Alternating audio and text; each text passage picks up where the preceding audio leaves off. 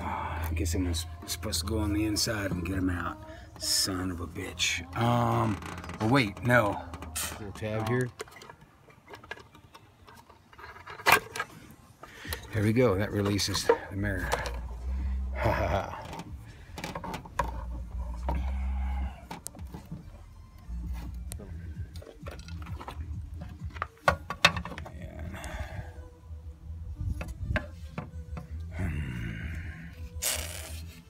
Gonna have to make some quick disconnects. Let's see. The Uh, red somewhere right in the wire middle. or the black wire? Oh.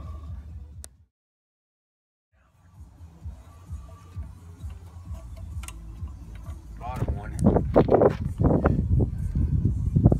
I'm just gonna, before we commit, test fit.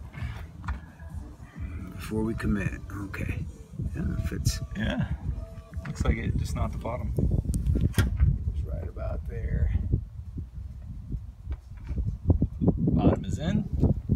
Here's the top. Three holes. And it doesn't match. And it does not match. Just because of the angle. No problem. We decided to uh, get all of the hardware out. Found rubber pads that actually have a built-in angle. So. Everything does line up. Once it's all marked, everything comes off.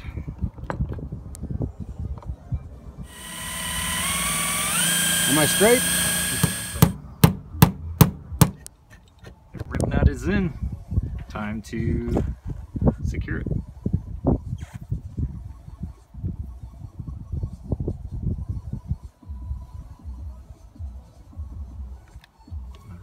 Pinched.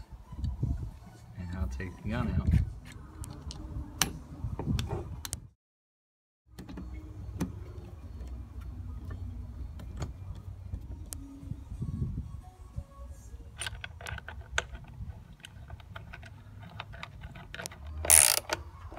It is installed and done.